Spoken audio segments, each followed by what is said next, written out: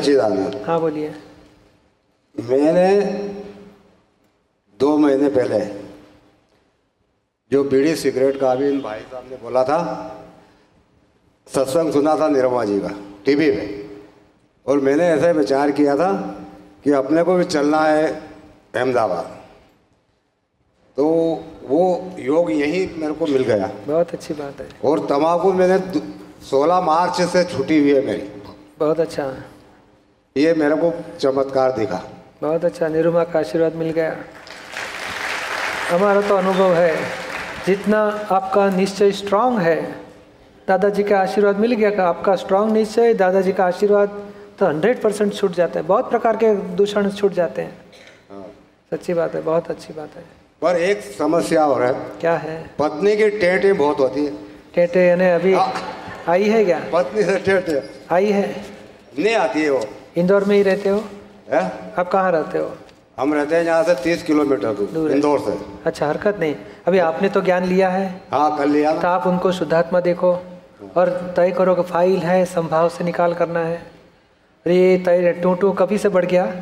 ये बहुत साल से बहुत साल से। से ही है। अभी क्या है कि जितनी अब तक आया पर अब और ज़्यादा टेटे हो गई। नहीं उसमें क्या होता है? नहीं नहीं ये जितनी आसक्ति ज़्यादा उतनी टेंटे ज़्यादा होती है। हाँ। तो उसको शुद्धात्मा देखो और फ़ाइल देखो। और उसके जो कुछ भी वो ऑब्जेक्शन करे, कुछ भी गलती निकाले तो उसको उस टाइम पे थोड़ा समझाओ उसे निकाल करो और रात को बैठ के समझाओ कि देखो क्या बात है छोटी छोटी बातों में मेरी क्या गलती है, ऐसे क्यों एक दूसरे को दुख देते आराम से, प्रेम से जिए, समाधान से जिए। और थोड़ा थोड़ा समझाओ और एक दूसरे के और धीरे धीरे आप अपने तरफ़ से प्रतिक्रमण चालू करो।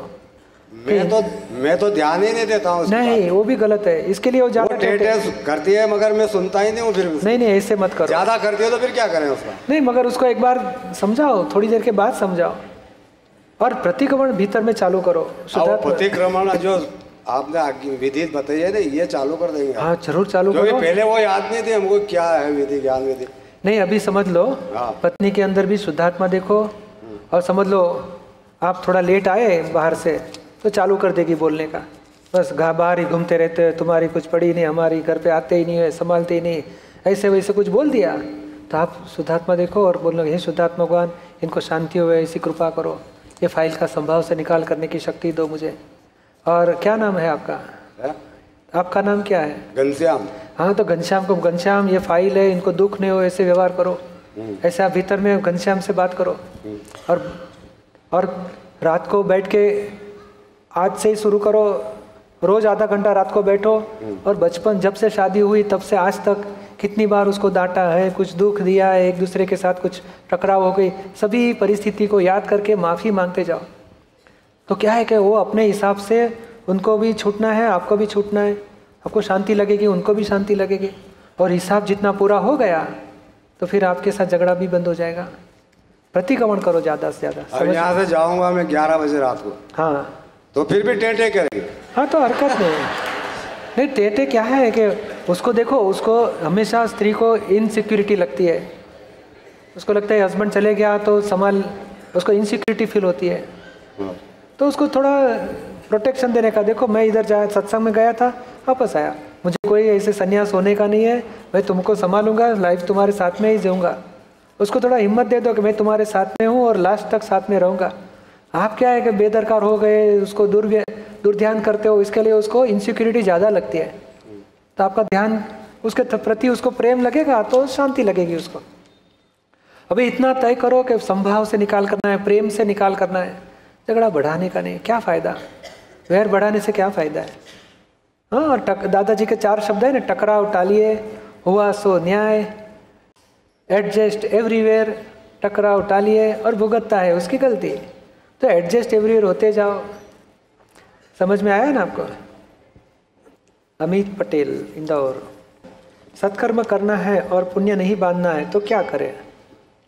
सत्कर्म क्या क्या करना है आपको? दान है जैसे मदद है। सेवा है सेवा है। परोपकार। तो करते रहो अमित के पास कराने का। कर्ता भाव से कर्म बंधन होता है कार्य करने से बंधन नहीं होता है। मैंने किया वो मान्यता से कर्म का चार्ज हो जाता है। अमित के पास कराना है और आपको जानना है। अमित जाओ करो इतना सेवा करो परोपकार करो दान करो। अमित के पास कराओगे। और हुआ सो व्यवस्थित साइंटिफिक सर्कमशल एविडेंस से हो रहा है। Amit is one of the evidence तो ये जागृति में यानी पाँच आज्ञा में रह के जो भी व्यवहार करोगे तो डेफिनेटली कर्म नहीं चार्ज होंगे। समझ में आया ना? और सत्कर्म आराम से ज़्यादा से ज़्यादा कर सकोगे। इसका निर्णय कौन लेगा? अमित लेगा या शुद्धात्मा लेगा? को इसका सत्कर्म करने का? हाँ। वो निर्णय तो अमित ही लेगा। उसको जो एक्चुअली अमित जो करता है वो उदय कर्म कराता है। यानी व्यवस्थित की प्रेरणा है इसके पीछे। वो जो दान जिसको मिलता है उसका भी हिसाब है इसके लिए अमित से कार्य हो रहा है। वो वन ऑफ़ द एविडेंस है Amit is not whole and sole doer और आप शुद्धात्मा तो हंड्रेड परसेंट अकर्ता हो Amit one of the evidence है। कि अमित ने पूर्व भाव में भावना की थी मुझे मंदिर में दान देना है, सभी की सेवा करनी है। वो दान का जो बीज डाला था, वो आज बीज उगता है। और प्रेरणा आपको होती है कि नहीं, मैं चलो सेवा करूँगा, हॉस्पिटल में एवरी वेनसडे जाऊँगा, सबको फ्रूट दूँगा, सबकी सेवा करूँगा। तो ये पूर्व कर्म का फल आया है। और वो व्यवस्थित की प्रेरणा आपको अमित को मिलेगी और बाहर के एविडेंस भी मिलेंगे। समझ में आया ना? तो उस टाइम पे ये डिस्चार्ज कर्म ही है आज का। ये सेवा का भाव होता है, वो भी डिस्चार्ज है, सेवा का कार्य भी डिस्चार्ज है। और उसी को अज्ञानता से मैं ही अमित हूँ मैंने किया मानते थे, उससे वजह से नेक्स्ट लाइफ के लिए चार्ज करते थे। तो अभी आपको जागृति मिल गई कि मैं शुद्धात्मा हूँ, अमित करता है, और अमित जो भी करेगा व्यवस्थित कराता है। तो फिर नए कर्म चार्ज नहीं होगा, और अमित का डिस्चार्ज में तो है तो धीरे धीरे पूरा करना है। प्रतिक्रमण से माफ़ी मिलती है। तो भूल करने का लाइसेंस भी मिल गया क्या? नहीं। जो भूल करता है, उसको पश्चाताप होता ही नहीं है। और जो आदमी भूल के ऊपर पश्चाताप करता है, वो भूल एक दिन उसकी खत्म हो जाएगी, उसकी गारंटी दादा भगवान के तरफ़ से है। कोई आज दुनिया में जाके देखो, कोई अपनी गलती के ऊपर पश्चाताप करता है, माफ़ी माँगता है?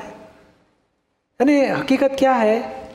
आपने गेहूँ के गाने, दाने, गेहूँ के दाने डालते हो और बाजरा का दाना फल मिला है। तो फल और बीज दोनों अलग हो गए। क्रोध का फल है पश्चाताप करते कि किसी को दुख नहीं देना है। तो ये बीज आप नए डालते हो, किसी को दुख नहीं देना है। और फल में क्रोध से दुख देते हो तो दोनों अलग नहीं हो गया? तो ये ये क्रोध का फल दस दस हिसाब, दस लेयर होएगा, दस बार होएगा। क्योंकि कोई भी कर्म लेयर से उसके, कोई भी दोष है, पच्चीस लेयर है, पचास लेयर है। तो दस लेयर होएँगे तो दस बार होएगा क्रोध। तो दस बार आपने माफ़ी मांग ली, दस के बाद में ग्यारहवा बार नहीं होएगा।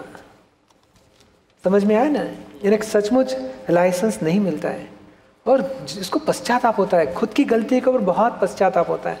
ये सिर्फ़ आत्मज्ञान की जागृति के वजह से ही हो सकता है। या तो जो दिल वाला होगा तो बुद्धि से किसी को दोषी देखा, बुद्धि से किसी को दुख दे दिया, उसका दिल कबूल नहीं करेगा, वो बहुत पश्चाताप होएगा।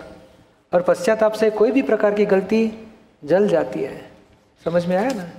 जय सचिदान जय सचिदान रमाकांत राठौर। मन और आत्मा में क्या भेद है?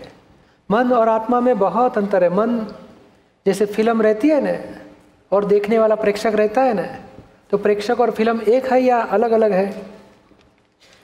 दोनों अलग है।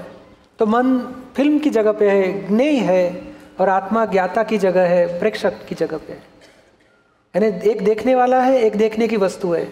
दोनों, मन विनाशी है, आत्मा विनाशी है।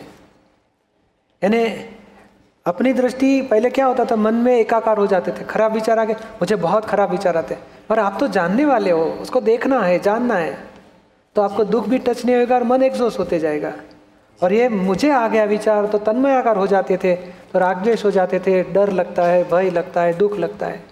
और आप मन को देखने वाले हो, जानने वाले हो तो मन एग्जॉस्ट होते जाएगा, आपको दुख भी टच नहीं होएगा। समझ में आता है ना? दीपिका, इंदौर। भाव कर्म, द्रव्य कर्म और नो कर्म क्या है? नव कर्म नहीं है नाइन नहीं है, मगर नो। नो कर्म यानी क्या है? ये तीन प्रकार के कर्म बोला जाता है। यानी भाव कर्म यानी मैं दीपिका हूँ, मैं करती हूँ क्रोध होता है, मान अपमान, लोभ, कपट, मोह, ममता, अहंकार, वो भाव है, भाव कर्म। यानी वहाँ से चार्ज होता था।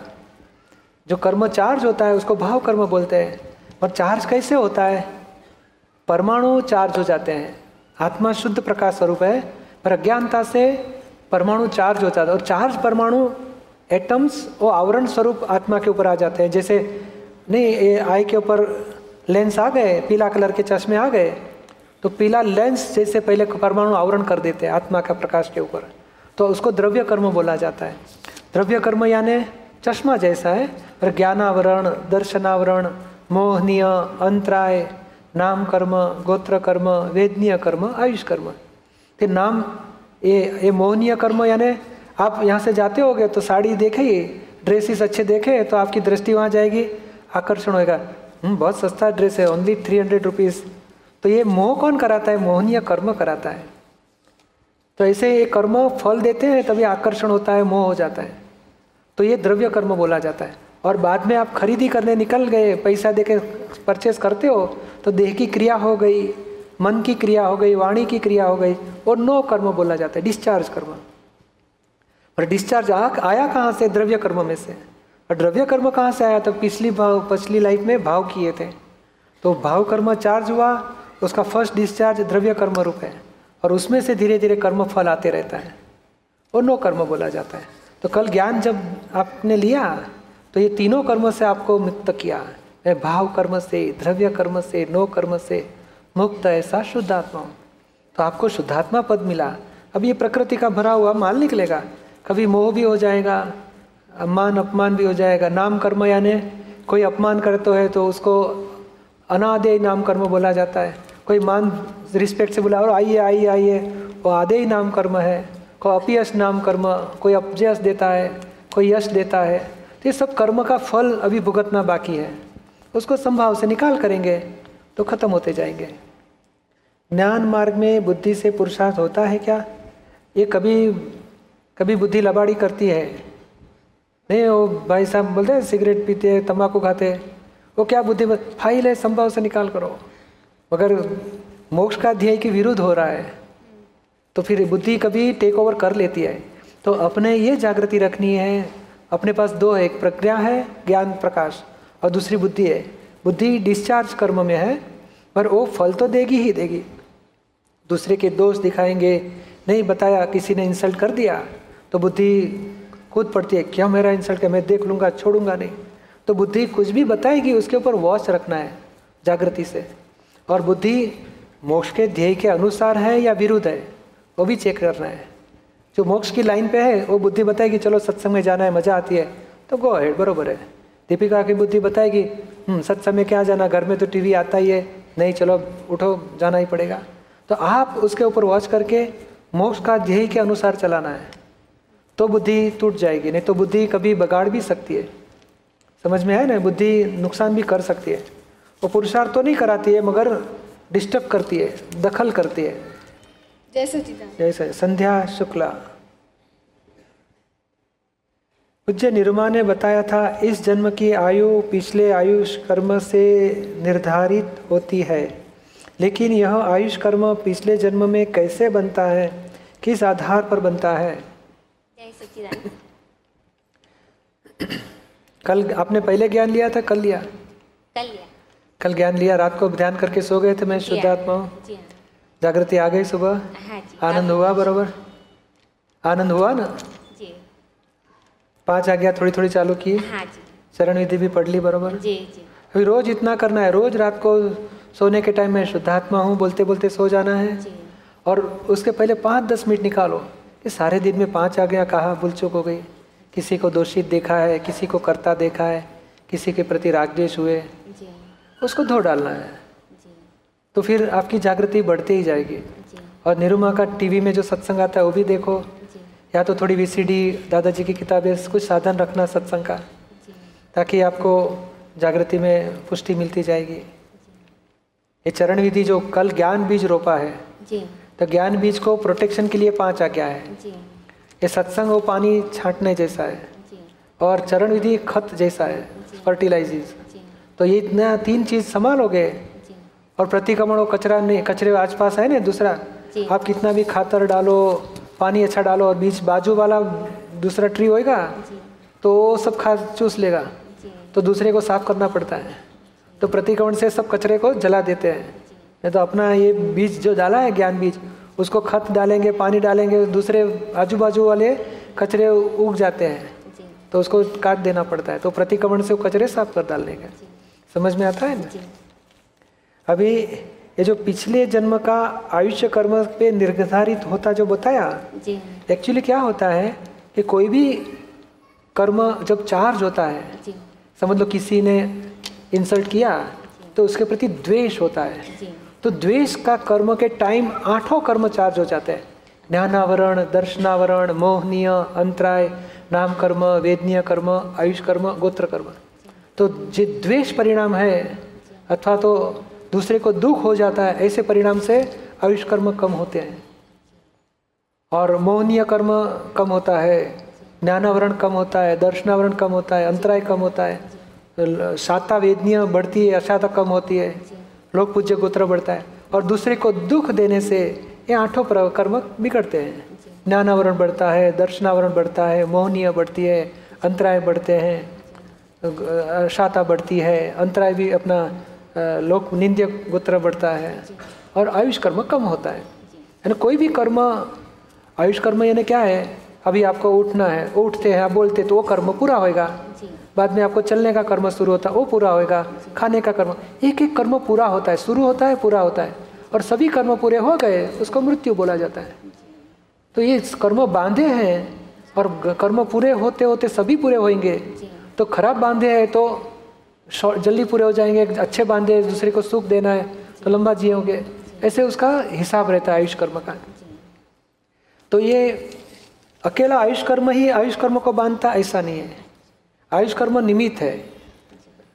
मगर जो भाव है उसी से सभी आठों कर्म चार्ज हो जाते हैं। और उसके फल रूप आयुष कर्म भी वन ऑफ़ द पार्ट है उसका। यानी अज्ञानता से सब कर्म चार्ज हो जाते थे। आयुष कर्म भी उसी से ही चार्ज हो अभी ज्ञान मिला है तो अभी नया आयुष क्या हो जाएगा? तो लंबा लंबा हो जाएगा। और पाँच आज्ञा का पालन करने से ये भरत क्षेत्र के राग द्वेष का हिसाब धीरे धीरे पूरा हो जाएगा। तो यहाँ से महाविद्य क्षेत्र से मंदिर स्वामी के पास जन्म होगा। वहाँ तो बहुत बड़ा लंबा आयुष्य है। वहाँ केवल ज्ञान भी होएगा और बाद में जगत कल्याण का काम भी करेंगे वहाँ। और बाद में सब कर्म पूरे होएँगे तो मोक्ष जाएँगे। तो यही भावना करनी है कभी इस संसार के सभी व्यवहार के व्यक्तियों के साथ का व्यवहार जो राग द्वेष से पहले करते थे, अभी संभाव से निकाल करना है। छूटना है। मोक्ष के लिए तैयारी करो कि अभी छूटना है। सभी हिसाब पूरा करके छूटना है। फाइलों का संभाव से निकाल करना है। और ये जो किताब है ना उसमें लास्ट दो तीन पेज में दादाजी ने बताया है कि जब उनको 1958 में ज्ञान हुआ किसी को तो मालूम नहीं हो पाया था। तो चार साल तक दिन रात अपनी जागृति से सारे जीवन में जितने भी राग द्वेष अभाव तिरस्कार किसी को दुख दिया गया था एक एक दोष को चुन चुन के साफ़ कर दिया उन्होंने। एक एक व्यक्तियों के साथ का हिसाब। तो वही पुरुषार्थ अपने को भी करना है। चलो फ्री टाइम मिल गया। संडे के दिन छुट्टी है कोई प्रोग्राम नहीं है तो दोपहर दो तीन बजे बैठ जाने का एक दो घंटे के लिए। चलो बचपन से लेके चलो पापा के पहले दोस्त के साथ मम्मी के साथ कुछ दोष हो गए उनके प्रति कौन करो? भाई बहन है उनके प्रति कौन करो? अड़ोसी पड़ोसी स्कूल में टीचर है फ्रेंड्स है। बाद में कॉलेज में आ गए बाद में शादी हो गई। एक एक परिस्थिति याद करके जो जो गलतियाँ हो गई है खुद की गलतियों की माफ़ी मांगते जाओ। तो एक एक व्यक्तियों के साथ का हिसाब पूरा हो जाएगा आपको मुक्ति महसूस होगे अनुभव होते जाएगा। और वो व्यक्ति भी आपके हिसाब में से मुक्त होते जाएगी आप भी उनके हिसाब से मुक्त होते जाएगा। और यहाँ के सभी हिसाब पे पूरा हो गया। तो फिर वापस जन्म ये क्षेत्र में नहीं होएगा महाविद्य क्षेत्र में सिमंदर स्वामी के पास होएगा। और वहाँ से मोक्ष खुला है यहाँ से मोक्ष पूरा खुला नहीं है। समझ में आया ना आपको? अभिषेक है। अभी क्या प्रश्न पूछना है? कि युवा वर्ग को आपका क्या संदेश है? आपके लिए कि युवा वर्ग के लिए? उसमें मैं भी शामिल हूँ। हाँ तो युवा वर्ग के लिए हमारा तो इतना दो चीज़ मैंने जो जीवन में अनुभव किया है वही मैं बता सकता हूँ। जी बिल्कुल। कि भाई फ़र्स्ट तो मैंने ज्ञान लिया दादा भगवान के पास सत्रह साल की उम्र में। हाँ। और बाद में हमारी दृष्टि निर्मल हो गई। जी। तो दृष्टि दोष मेरे धीरे धीरे स्टॉप होने लगे। जी। क्योंकि युवा अवस्था में विकारी दृष्टि बहुत बढ़ जाती है। बिल्कुल। और दूसरे पैसे का भी थनगनाट होता है, चलो मैं खूब कमाऊँगा मज़ा करूँगा। तो ये नॉर्मलिटी उसकी टूट जाती है। हाँ शादी करनी है तो करो, मगर एज आ गई शादी करो, मगर शादी के पहले जो दृष्टि बिगाड़ देते हैं, विचार बिगाड़ते हैं, और टीवी और मैगजीन और हाँ सारा दिन विषय विषय विषय विकार में कॉलेज में वही धंधा लगा देते हैं सब लोग। तो नॉर्मलिटी नहीं रहती है, एक आप जीवन का कुछ, जब पढ़ाई का टाइम है, अच्छी तरह पढ़ो। और जब शादी की उम्र है तो उस टाइम पे जो माँ बाप बताएँ और थोड़ा पहचान करके धीरे धीरे परिचय करके शादी करो, उसमें भी हरकत नहीं है।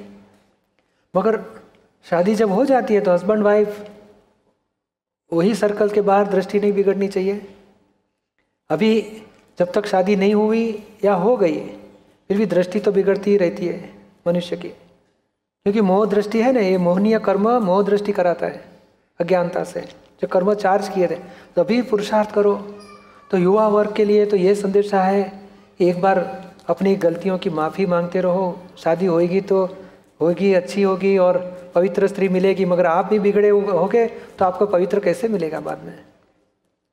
तो अपने तरफ़ से पहले प्योरिटी रखो। लक्ष्मी की भी प्योरिटी होनी चाहिए और विषय विकार की भी प्योरिटी होनी चाहिए।